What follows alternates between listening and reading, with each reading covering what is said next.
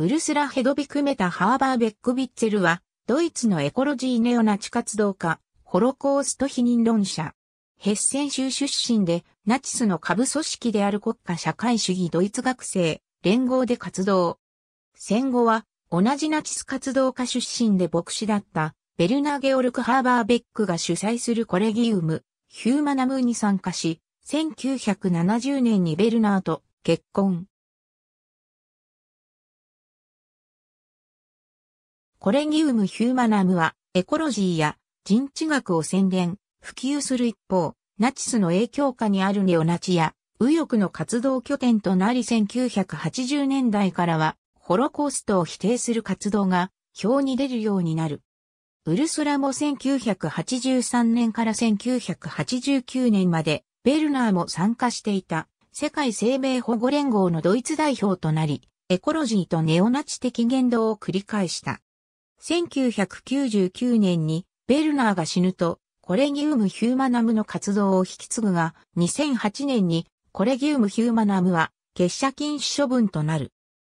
その後もホロコースト否認論の主張を続けて2004年、2007年、2009年と立て続けに有罪判決が下ったことで、ドイツのメディアにナチス、バーちゃんの異名で呼ばれるようになった。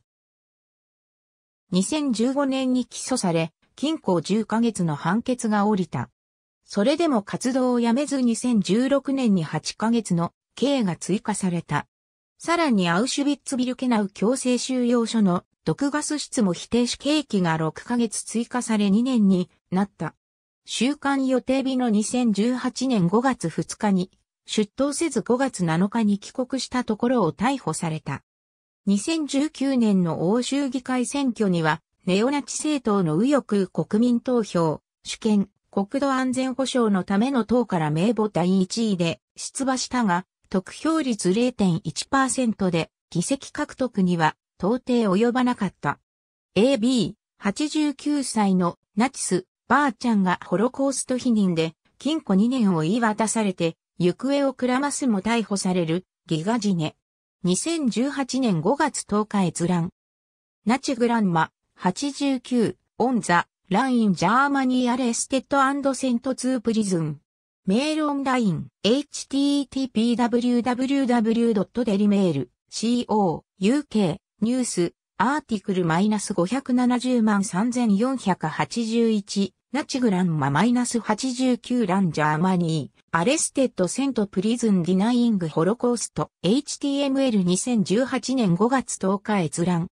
Who is、Nazi grandma。Holocaust denier Ursula Haverbeck。goes to prison after absconding。International Business Times。http www.ibtimes.com who Nazi grandma。Holocaust denier Ursula。Haverbeck goes prison after absconding マイナス267万9198 2018年5月10日閲覧。ありがとうございます。